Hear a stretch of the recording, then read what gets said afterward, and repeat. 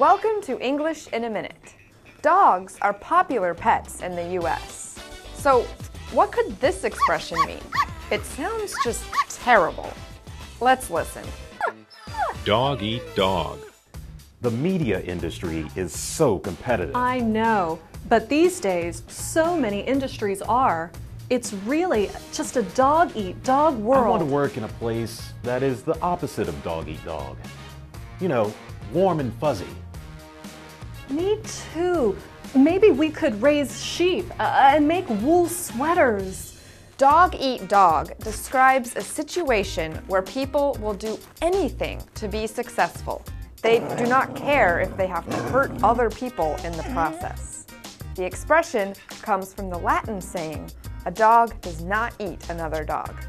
And that's English in a minute.